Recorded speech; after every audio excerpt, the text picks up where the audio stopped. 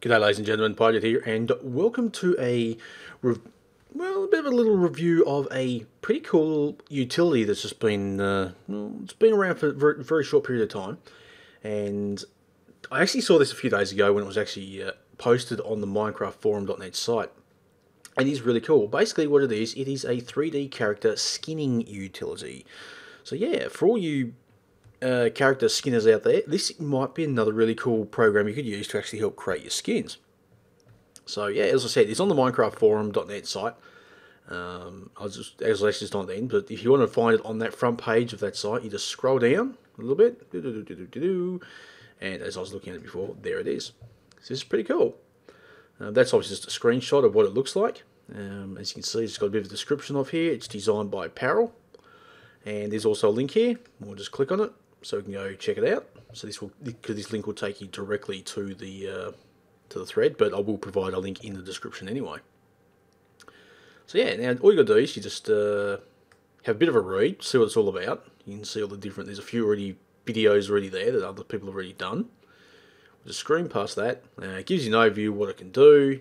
Um, and all that stuff. There's some obviously to-do list of things he wants to add and fix and whatnot. Scroll down to the bottom near the bottom of his uh, post, and you'll see the downloads.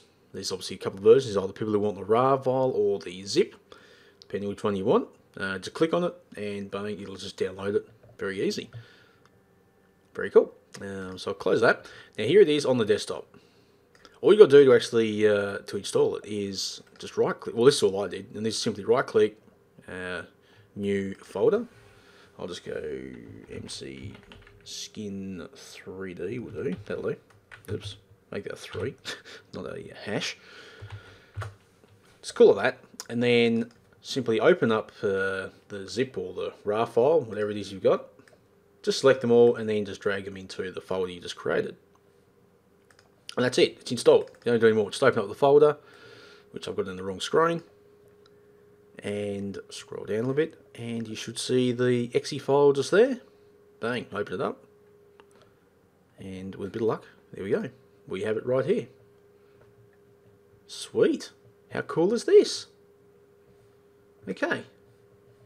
So now, if this thing's actually going to start loading for me properly, maybe I shouldn't have gone full screen. there we go. Um, sorry, this is my computer being a bit of a pain.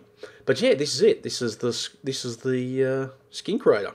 So now you can just use your uh, the right mouse button, if you hold it down, will actually zoom in and out. The left mouse button actually pans around.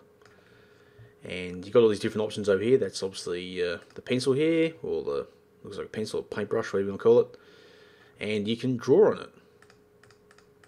Ding, ding, ding, ding. Scribble. Actually, if you go on the arms and the legs, you'll see it duplicates. I'll go back onto the eye there. I'll zoom in a little bit.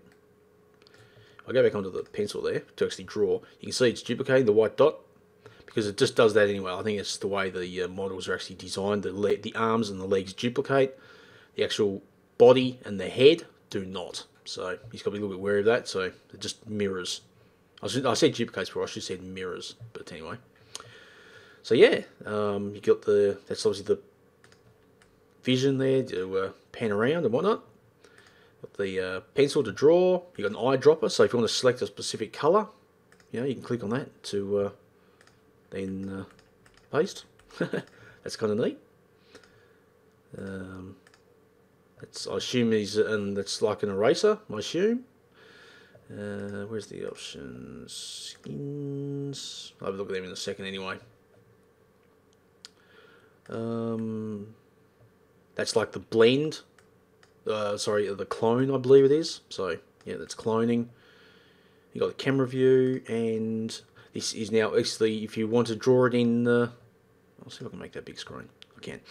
So yeah, so if you want to actually make it, do the actual drawing in the 2D version, which you might find a little bit easier, because it obviously lists what each individual part is, and you might prefer to do it this way. But yeah, this is how you can do it. That's all that button up there does, which looks like a little picture.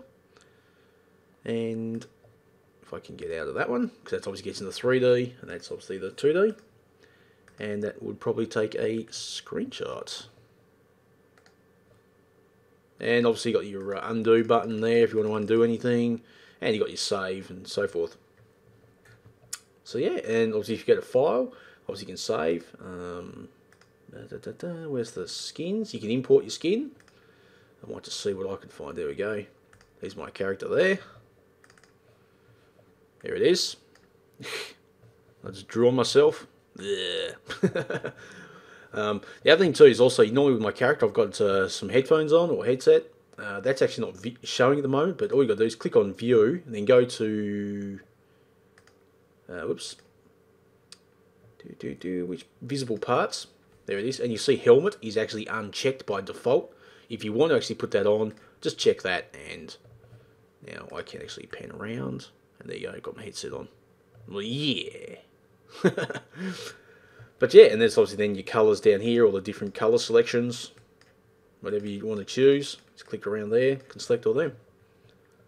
So there, that's it, ladies and gentlemen. I just thought I'd just throw this video out there, just for all you skin creators out there.